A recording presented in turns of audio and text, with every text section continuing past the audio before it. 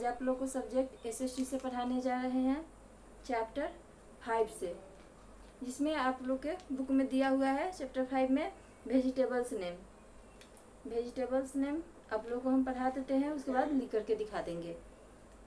onion means प्याज turnip means सलजम cauliflower means फूल गोभी टोमेटो मीन्स टमाटर पोटैटो मीन्स आलू कैबेज मीन्स पत्ता गोभी